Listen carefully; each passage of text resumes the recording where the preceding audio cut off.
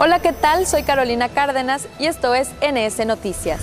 Iniciar este 2011 con una transformación educativa enfocada a fortalecer a los maestros, alumnos y fomentar el esfuerzo de los padres de familia y empleadores, mencionó el gobernador del estado, Guillermo Padres Elías. Este es el siguiente gran paso que nos hemos propuesto iniciar con un gran proyecto, un gran proyecto de la transformación educativa.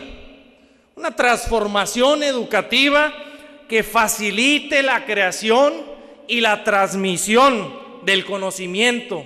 Debe de ser integral e incluyente, donde todos los sonorenses, todos debemos de ser una parte importante en la ejecución de sus beneficios.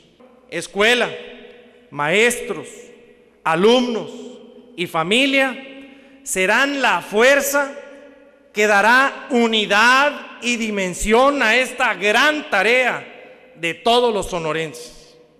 Es por eso que sin duda alguna, el día de hoy hacemos el compromiso y decimos que se requiere sin duda alguna, mejorar la infraestructura educativa actual y prepararnos para el futuro. Hay que rehabilitar y dar mantenimiento a los 4.600 planteles educativos en el Estado. El día de hoy hacemos el compromiso con todos los sonorenses, con nuestros hijos, con el presente y el futuro de México, que vamos a invertir más de 3 mil millones de pesos para poder lograr la transformación de toda la infraestructura educativa en el estado de Sonora. Al inicio de su mensaje, recordó que desde el primer día de su gestión ha puesto todo su empeño en hacer la verdadera diferencia, hacer cambios radicales para transformar Sonora y este año 2011 es el de la transformación y se inicia con la educación.